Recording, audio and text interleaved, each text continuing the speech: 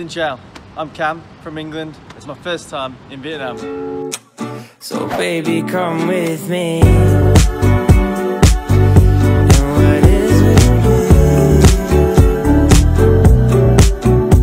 10 days. I guess it's definitely not long enough to see the whole of Vietnam. I was travelling in Vietnam from north to south, kicking off the journey in Hanoi, the capital city. And because of a tight schedule, unfortunately had to skip a few unique destinations which other people usually go to when they are in Vietnam. However, for only 10 days, I still managed to create a plan to visit the must-go destinations across Vietnam on a once-in-a-lifetime journey.